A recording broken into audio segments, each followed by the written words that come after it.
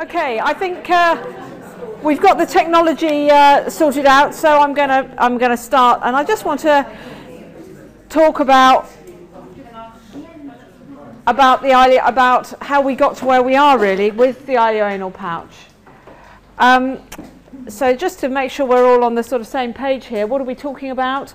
We're talking about surgery where you remove the whole of the colon and the rectum, so the whole of the large bowel um, and replace it with a reservoir made from small bowel, the small bowel here.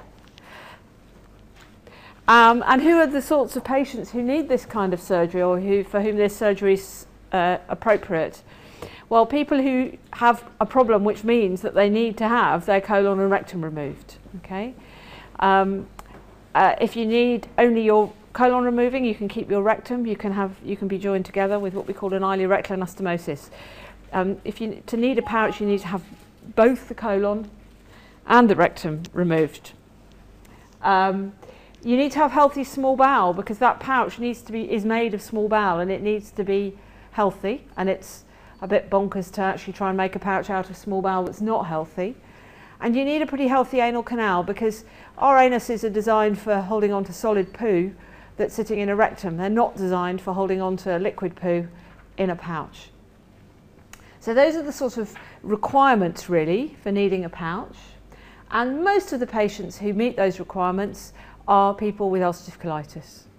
Um, and that's the vast majority of people who end up having ileoanal pouch surgery. And roughly a third of people with ulcerative colitis end up needing surgery at some stage in their lives. Another big group, particularly here, is people with familial adenomatous polyposis. That's a, an inherited condition which we specialise in here, where you inherit a very high risk of bowel cancer and lots and lots of polyps. And in some patients, the only way to deal with that is to remove the whole of the large bowel to prevent cancer. Uh, and those people often benefit from a pouch. And then there are a few assorted other people who, under special circumstances, may need to have their whole large bowel removed and, and might, uh, might be, um, a, a pouch might be appropriate for them. So let's think about ulcerative colitis because that's really where this all started. All right, that's the first pouches were done for ulcerative colitis. It's where the biggest patient numbers come from. It's where the real drive has come from to develop this operation. Let's go right back to the turn of the previous century, late 1800s, early 1900s. This is statistics from the London hospitals, all very respectable institutions. These are admissions for acute colitis, and this is the number of patients who died. This was before steroids, this was before antibiotics, before effective intravenous fluids. People died. If, if you were bad enough with your ulcerative colitis you needed to go to hospital, you stood a roughly 50-50 chance of not getting back out again. Now, that we would be horrified by that now. If we have somebody who dies of acute colitis, which occasionally happens, but only occasionally, it is a major, a major thing, okay, because it should not happen now. But only a little over 100 years ago, it did happen. So um, surgeons turned their minds to seeing if they could try and stop this. And uh, one of the first things that was uh, pioneered was just making a stoma, bringing out an ileostomy above the diseased colon uh, and just letting it rest. Um, most of the people who, who do die of acute colitis die because of bowel perforation, actually, colon perforation. That's usually what happens. Um, uh, or extreme dehydration. Well, if you can bring out an ileostomy above the very diseased colon, you can, you can um, salvage that situation. Um, but dangerous before the days of safe anaesthetic um, and still carried a quite significant mort mortality. This is now looking at the 1930s data from the Mayo Clinic, one of the smartest and best clinics in America. Still, we're getting 30% of people dying having had an ileostomy for acute colitis. Um, so they then thought, well, uh, the problem is this horrible diseased bit of colon. Why don't we remove it? Um, now that's a pretty big operation even nowadays, but then, 1930s, before good anaesthetics, I mean anaesthetics at that point was still a wodge of cotton wool with some chloroform on it, you know, quite dodgy anaesthetics, uh, and no antibiotics at all um, they actually, by removing the diseased colon, got their mortality down to about 10%, which is pretty amazing, really. in the, in the circumstances. Around this sort of time, the 1930s, was also around the time when people started to use steroids to treat ulcerative colitis, which obviously made a huge difference as well. Uh, this is also from America, and again, this is looking at the um, um, data for removing the colon. Their, their rates weren't quite so good, 20% uh, mortality, one in five people dying. But it gets much better after 90, in the early 1950s, and that's probably because of the anaesthetics, intravenous fluids, and antibiotics, which arrived at that point and made a huge difference to outcomes from surgery. Um, so things are getting better. Um, and again, this is another one. Uh, this is Canada.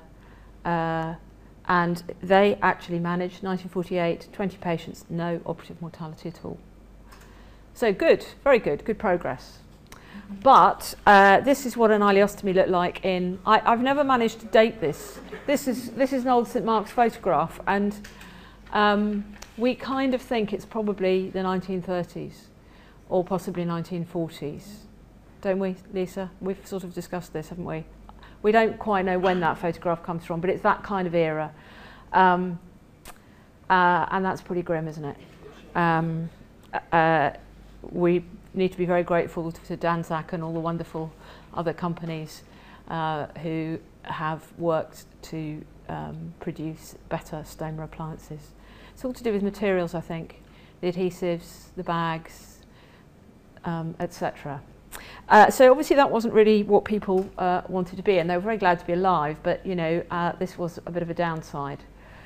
Uh, so uh, how are we going to avoid that? Um, so this chap, uh, again American, Devine, thought, well, can we save the rectum and do a col an ileorectal anastomosis? Can we take the colon out but then join people up. And then he had this weird operation which involved about four stages where he made these what he called blowholes, which was basically multiple stomas when the person was acutely ill, like this.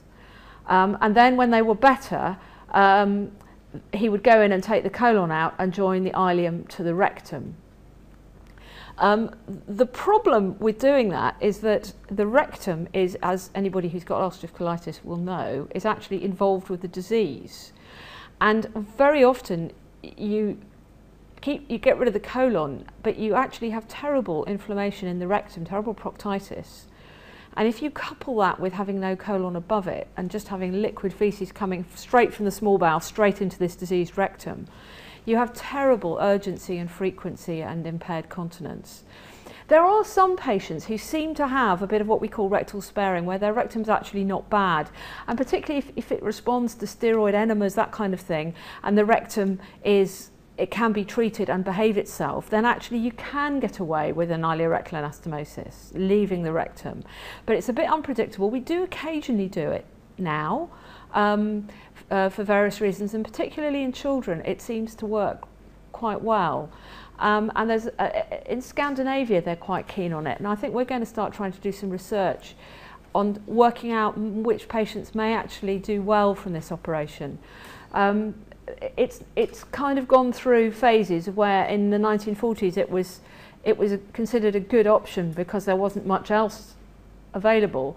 Then when the pouch came along, it was considered, you know, actually not the right thing to do at all because so many people struggled.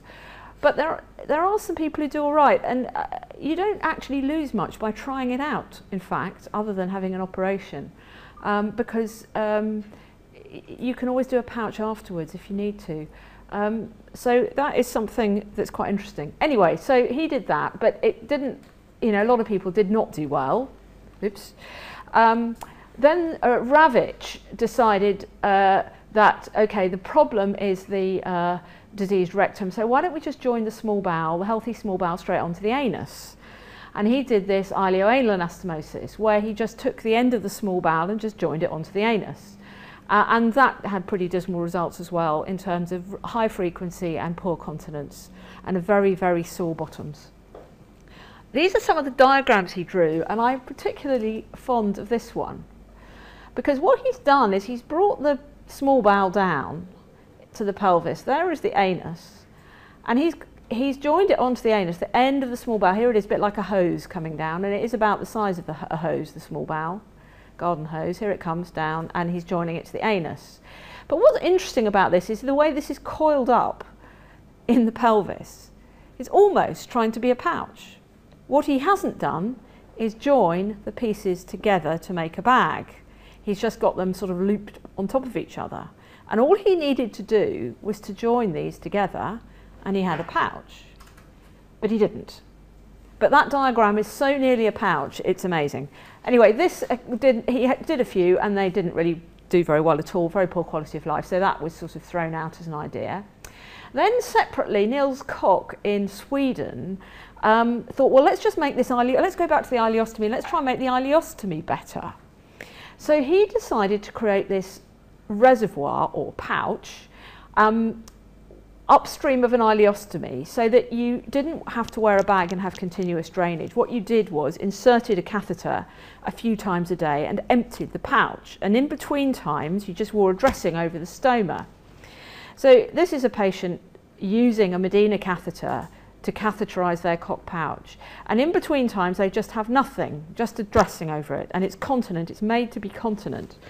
This is what it actually looks like. It's made from loops of small bowel joined together, and then the the, the, um, this part is, is, is turned inside it on itself to make like a pressure nipple valve. And the idea is that as this fills up and expands, it compresses the valve and stops it leaking. And this is brought to the outside world to make the stoma. And these are brilliant. Um, I don't know any, ever, anybody in here has had one or got one. Um, they are fantastic when they work. The problem with them is, is that they have a really, really, really high failure rate. And when they fail, it can be very spectacular. You can get to a, a situation where suddenly you cannot get a tube in there. And you go from being completely fine to being totally obstructed. And unless you are at a hospital where they know how to deal with this, there is a very big problem very quickly. The other way they go wrong is that this continent valve thing slips and stops being continent and uh, this uh, leaks all the time. Um, uh, and you can redo it, but the redo, the redo failure rate is really high. And they do virtually all fail at some stage. So we've stopped doing them just because it's, you know, it's, it's un, unacceptably high. The but when they are working, they are really good. And the people who've had them that, that function well have been very pleased with them. It's just that they come to, a, they sort of come to a rather spectacular and unpleasant end at some point when they when you can't um, you can't intubate it and end up in a hospital uh, as an emergency where they don't know how to deal with it. Anyway, but the, the, the thing that this man did was make a pouch. So all it took was John Nicholls and um, Alan Parks from St Mark's to put the two ideas together and take the pouch that Nils Kock had made and put it in the pelvis like Ravitch did with his endoileostomy. Uh, and there you are, the ileoanal pouch.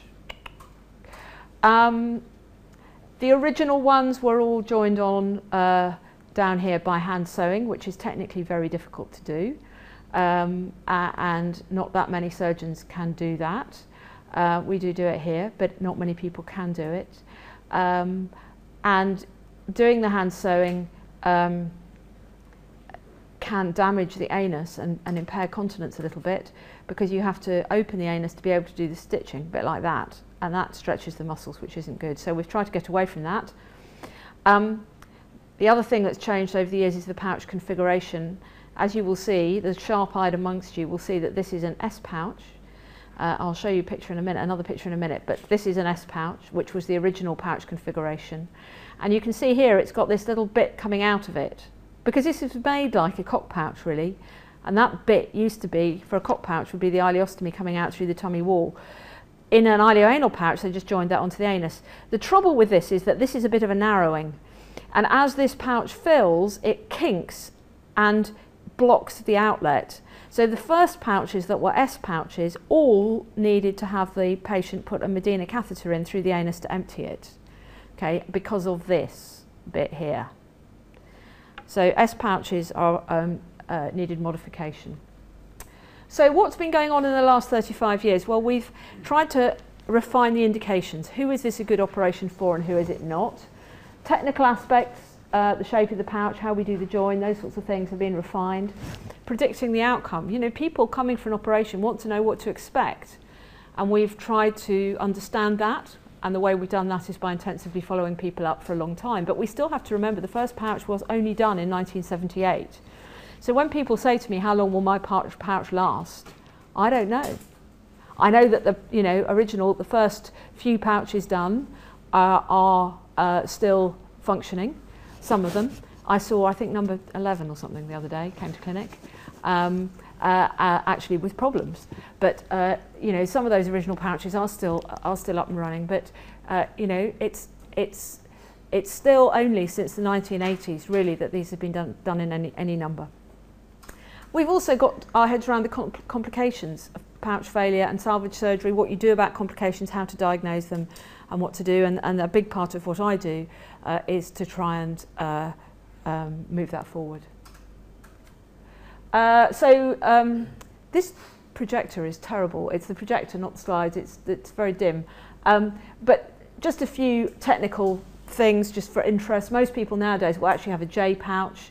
Uh, this chap, uh, Utsunomiya, who's still alive and around uh, in, in uh, Japan, um, decided it designed this and it's much simpler than the uh, other configurations and it's the one we mainly use now. You just take, it's obvious it's a J shape, you just um, uh, bend it back on itself like that and join the two bits together and the bit that joins onto the anus is the, is the apex of the pouch so you don't have that thin bit that kinks. Uh, so most people who have a J pouch can um, empty without using a catheter. So this is the original S pouch. That's why if you put your head on one side, you can see why it's called an S. It uses three, three loop bits of bowel joined together. And this is the problem bit, this bit that sticks out called the efferent limb, and that's where you join onto the anus. And this is the bit that makes it difficult to empty. This is a J pouch, which is what we do mainly now, nice and simple, easy to do, and um, uh, that is joined onto the anus. And John Nicholls used to do a W pouch, so most John Nicholls pouches are Ws, which is phenomenally complicated because it uses four pieces of bowel. You have to hand sew all of these joins. You can't use a stapler. It takes ages and is really confusing. Um, and I always think that if something is confusing and difficult for the surgeon, uh, it's not a good thing for you. Um, it, it looks easy in two dimensions like this, but when you, it's actually three dimensional. And, and so it's a bit like making a football out. You know, if you look at a football, it's all made of panels. So you get these four pieces of bowel and you open them up and then you've got these panels and you have to work out in what order to join them together. And I find it very difficult. Um, uh, it makes a bigger pouch, which some people say might, might, might improve function, but there's no good evidence for that at all. Uh, so most people now just have a J. The next uh, controversy is how you do the join. Um, here's a J pouch. This is the anus. Um, there's the outside world down there. Um, this, this little bit of, of bowel here is important. This is where the skin, when you're made as an embryo, your skin, there's a sort of skin dimple here that grows inside, inside and then uh, joins the bottom of the bowel. Um, and uh, this is quite an important, the area just above there is really important for sensation. It, this is the area where, you know, if you're sitting there at the back and you're thinking, you know, do I need to poo? Do I need to fart? Do I, you know, that it's here, it's this, that's all happening right there. That distinction between wind and liquid poo and solid poo, poo is all happening there. And you, it's quite important for your function to retain that so that your brain can know what's, what's going on.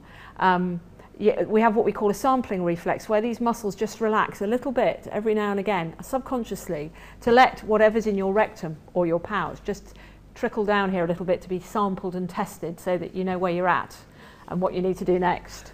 Um, if you do a hand-sewn anastomosis, hand-sewn join, you have to strip away this area, or at least most of it. So you lose some of that sensation, okay? So that's a downside of a hand-sewn anastomosis. The upside is that if you've got ulcerative colitis or polyposis, this patch of bowel is affected by that disease. So it can be, it can be inflamed in, in ulcerative colitis. You might hear about people talking about the cuff. This is the cuff. And if you have cuffitis, it basically means you've still got ulcerative colitis of this little bit that's been left behind. So you don't want it too long, okay? Um, so the argument for removing it is that you get rid of the disease that's there. So, like all these things, there's a compromise, and surgeons like to go away to conferences and argue and shout at each other about what's the right thing to do.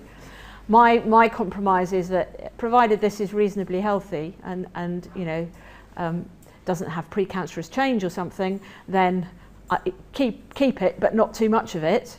If it's unhealthy, then you need to take it away. Uh, oh, that's interesting. Something very strange has happened to those. Don't worry, that was just showing a staple gun. Uh, right. Uh, I'm not going to really bore you with this, but people have all, you know, they're always trying to prove what's better, a hand sewn or a stapled anastomosis. There's been lots of trials. There's been what we call a meta-analysis where you lump all the trials together and do some clever maths and try and find the truth. Um, and basically, there's not much difference, to be honest, between the two in terms of function, other than it's that there's definitely more seepage in people who've had a hand sewn join, probably because of the lack of that sensation, because that sensation is working even when you're asleep, and because the muscles are stretched when you do a hand sewn join.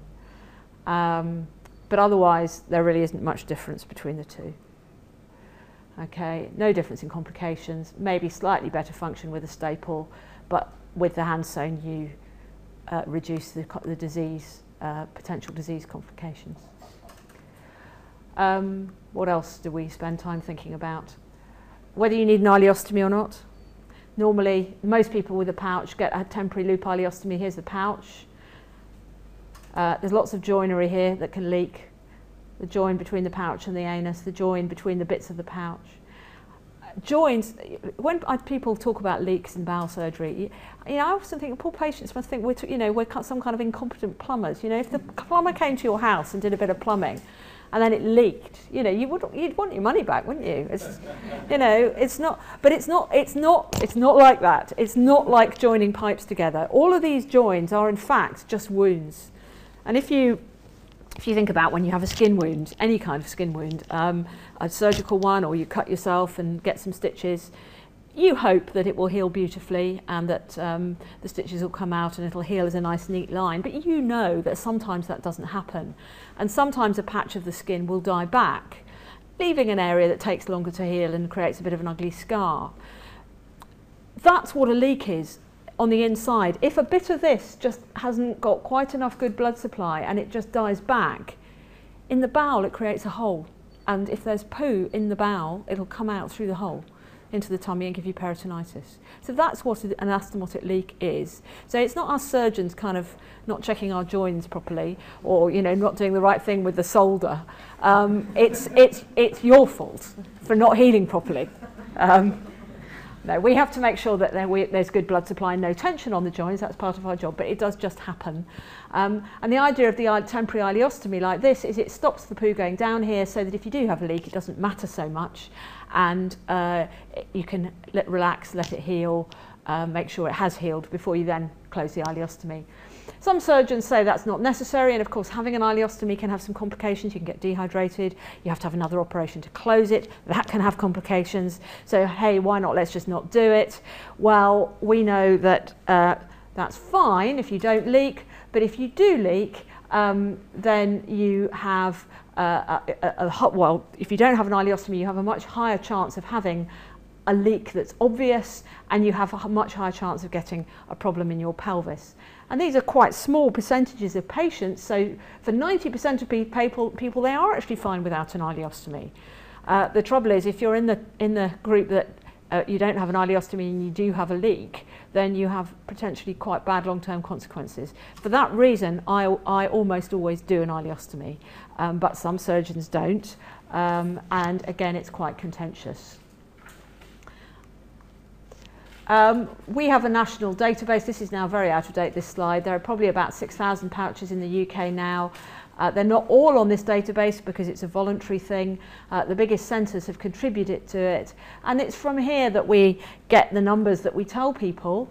Uh, I tell people that they could expect to go to the toilet on average five times a day and once at night with an ileoanal pouch. But there is quite wide variation. Um, and you can see as, as time goes out after the surgery, um, uh, it doesn't change a very great deal. And these bars give you an idea of how much people vary around that, um, around that figure. And 95% of people will lie between lie somewhere along this black bar. So you know there are a number, there are people who have worse frequency than this.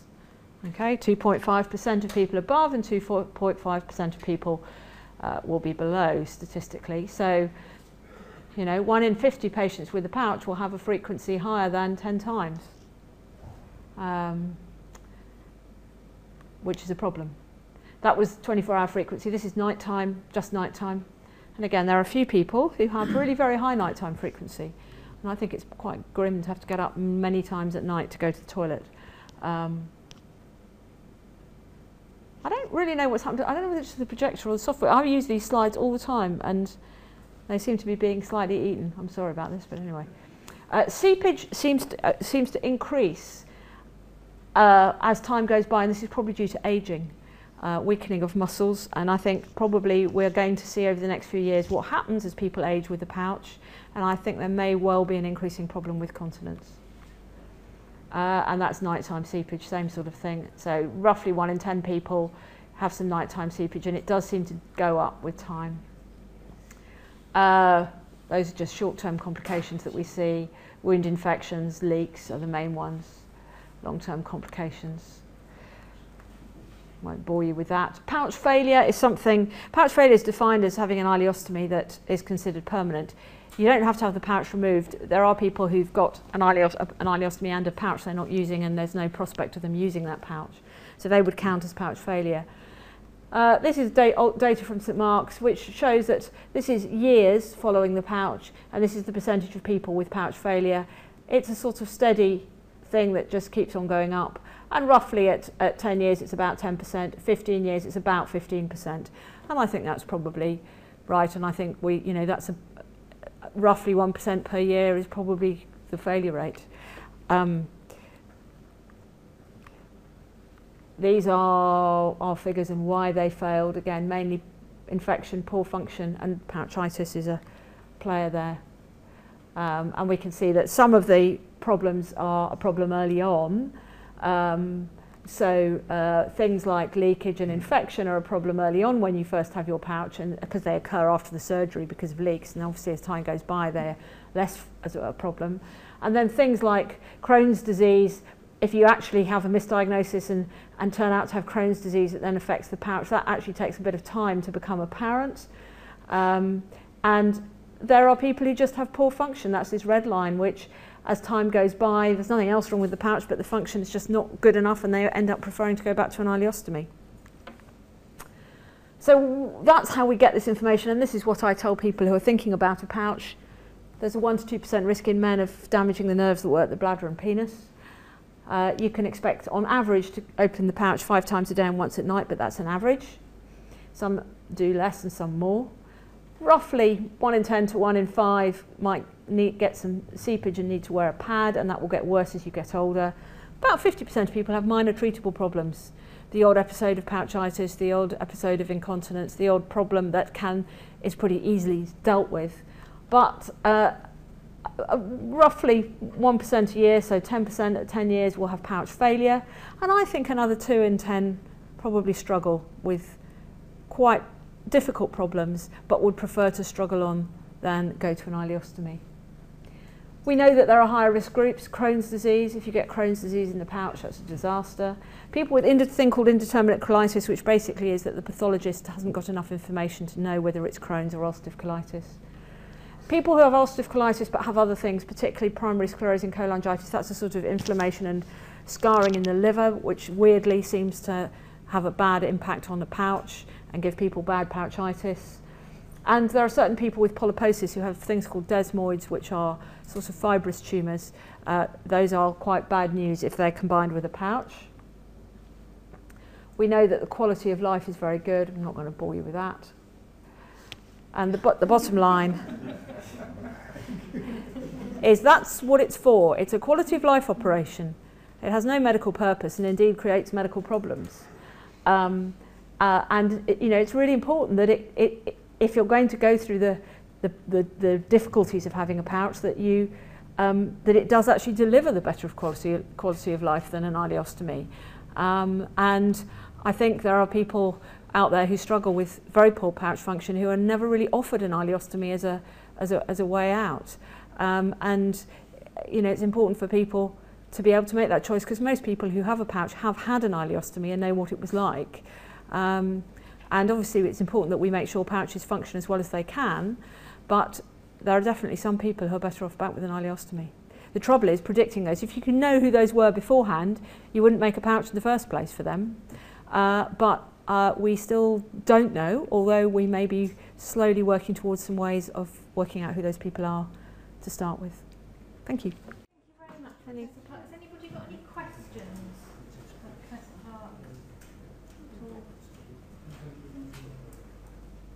I've got one.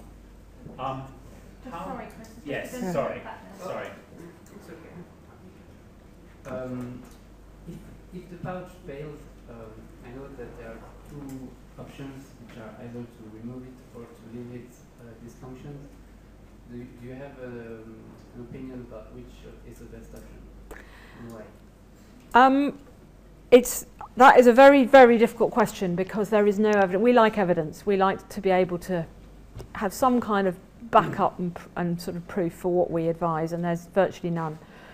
Um, one of the biggest pouch centres in the world is Cleveland Clinic in Cleveland, Ohio, in America, and they say that you should just remove the pouch, always. I hate removing pouches. It's my least favourite operation. It's a very destructive operation with high complication rates, particularly in men.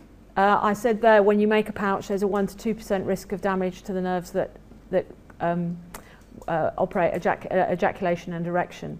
That risk is much, much, much higher in pouch excision. It's probably 25%. Um, so it depends on the circumstances. The other thing is that people, there are timing issues. You know, some people are pretty desperate with very bad pouch function, but just want to get out of trouble, get back to their job, get back to their life, get back to their kids or whatever it is. And while it may be that they will have the pouch out in future, they just want to have the quickest, safest, easiest operation now to get out of trouble. Some people can't quite decide what to do and don't want to burn their bridges, so keep the pouch, you know, would rather keep the pouch in, so theoretically it could go back in use. Uh, and I also think that you reduce the complications of taking out a pouch if it has been out of use for a few months first. So usually what I do is that I suggest that we just make an ileostomy. We just connect, disconnect the bowel above the pouch and leave it in place and see what happens. Let the person get well, let them decide what they want to do, and if the pouch is troublesome, then we can go ahead and take it out. And I think we've created a less complicated situation, and we've also created a situation where they can pick their time because they're not in trouble, they're back to being well, and they can choose a convenient time to have it done. Um, some people are completely fine with the pouch just sitting there. Some people have symptoms, i- i- particularly people who have incontinence. I've noticed that people whose main problem with their pouch is incontinence, if you just make an ileostomy and leave the pouch, the pouch fills up with mucus and they're often in- incontinent of large volumes of mucus. So actually that is one group where I think they all need the pouch out, so we may as well do it straight away.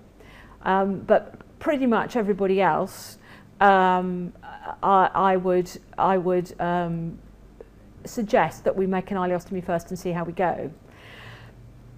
It, it, we do see occasional long-term problems with pouches, uh, the outlet narrowing and the thing filling with pus and people feeling dreadful, um, and occasional cancers. So I don't know what the right answer is, and I think it's probably something that you need to discuss with each patient and be frank with them about the fact we don't, there isn't a right answer and we need to choose what's right for them um, and uh, do it that way.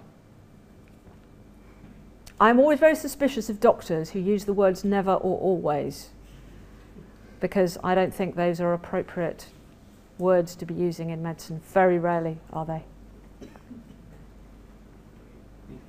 Just time for one more, if anyone's got one more question.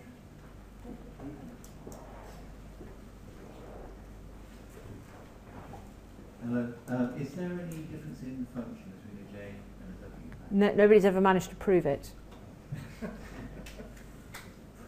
Which is why we all do J's, because there's no evidence. They're certainly bigger Ws.